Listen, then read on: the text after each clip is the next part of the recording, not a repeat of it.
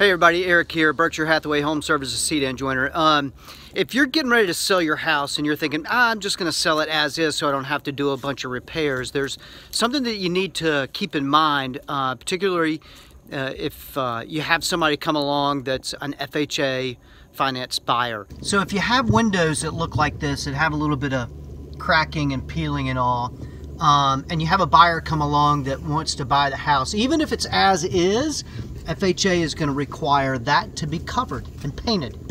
Yeah, so do yourself a favor and go ahead if you've got stuff like that. Uh, go ahead and paint it. Um, you know, they're going to require smoke detectors to work.